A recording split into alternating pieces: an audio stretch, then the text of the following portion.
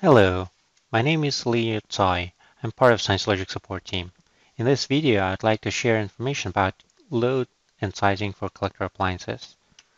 We're going to look through system requirements page, what's causing load on collectors, impact of having insufficient resources on collector, how to add resources properly to ScienceLogic appliances, and cover some support gotchas. Here's how our system requirements page looks like on our site. You can find that under Documentation System Requirements. As you can see, it has various sections that describe deployment on various hypervisors, our hardware appliances, sizing for cloud-based deployment, and collector sizing section to show impact of various type of devices. Here's extract from the pages related to virtual and cloud deployments. You can see minimum requirements here, but those are real bare minimums. When you have resource constraints and just need try and start with something, you can use those bare minimums. But our recommendations is always use a little bit more resources to make sure that you have better experience and avoid any issues with load. Here's a tab for collector sizing. You may notice that different types of devices cause different loads on collector. For example, Windows devices monitored using PowerShell require much more resources and that's because every Windows device has much more dynamic applications with lots of collection objects, and WinRM is much slower than SNMP collections in most cases. As to the question on what's causing the load on collectors, it's mostly time spent collecting data. Nightly discovery or scheduled rediscovery process can also cause load due to number of devices that needs to be rediscovered.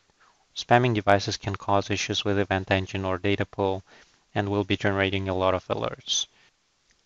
So what happens when the collector is overloaded? You have missed polls that result in gappy data and you also miss events. Not sufficient memory can cause DB corruption due to MariaDB process being killed. Spamming devices or insufficient storage space can cause database full issue. Here's a KB article that describes how to properly add resources. It should apply to collectors as well as databases. Here are some gotchas that I wanted to share with you. You can reduce retention settings to keep less data on collectors. If data is not synchronized to a database, it's not deleted even if it exceeds retention settings. So don't be afraid of setting it lower.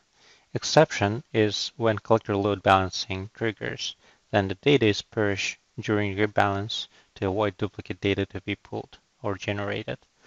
It's not a good idea to have too many devices in a single collector group, as it will extend the time to rebalance and during that time you're not collecting. I would recommend 2 to 5 collectors per collector group. You do need to have sufficient number of collectors in collector group to avoid overload when some collectors go down. For example, if you have 5,000 devices and you deploy collectors with recommended 1,000 devices per collector, and expect up to two collectors to go down, you will need to deploy total of seven collectors, five collectors that will handle the load and two additional to provide redundancy when two collectors will go down. CPU to memory ratio is also important because we use CPU count to spawn number of simultaneous worker processes. If you will have too many CPUs, uh, we will spawn too many processes and you will run out of memory. SIGTERMs in some cases doesn't mean that you have high CPU or memory load, but it's just you're running out of time. We have a separate video on this topic, so please check that out. New releases added important tracking of some additional metrics that will help troubleshoot SIGTERMs. Those metrics are also used with new load balancing mechanism, and they will help us to quickly detect problematic devices or applications. It's always recommended to run on newer release. To summarize, we went through the collector sizing, impact of incorrect sizing, some resources that are available on our support site. We also went through some common gotchas related to collector load. Thank you for listening.